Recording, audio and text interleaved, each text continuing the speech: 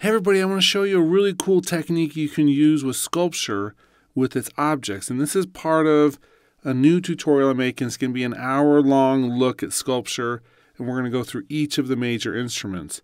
But this just is something that I was doing that I thought was kind of interesting. I want to share and it's using our MIDI effects. In this case, the modulator.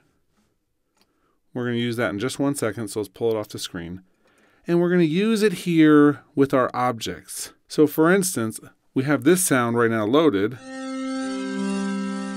I'm going to switch my third object to some mass. This just adds mass to our modeled string.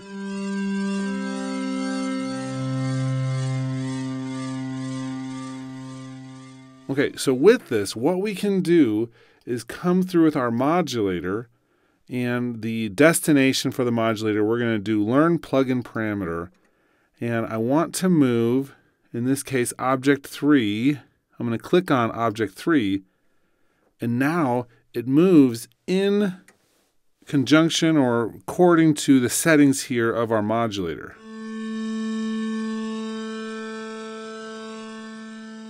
So we can do things like speed this up.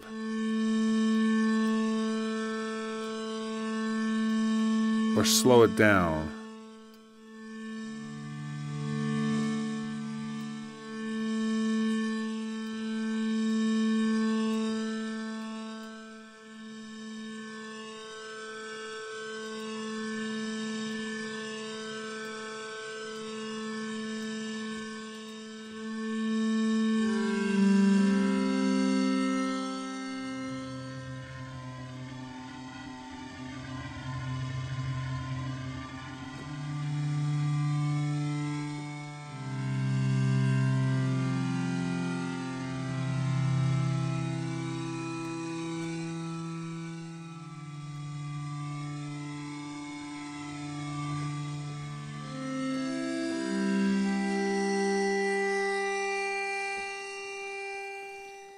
Kind of a subtle effect, and that's how these objects work. But we've attached this, and the, the amount is changing now in accordance to this modulator.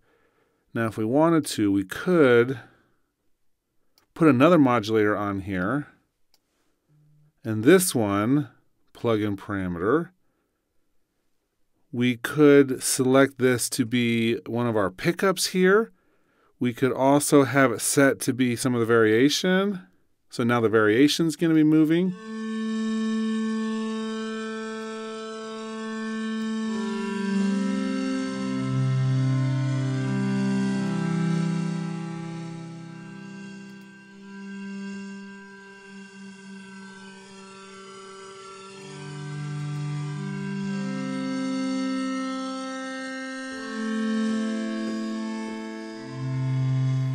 The way I'm using it isn't changing a huge amount. It's just adding this little variance and it's changing this mass object and how that's working with our sound.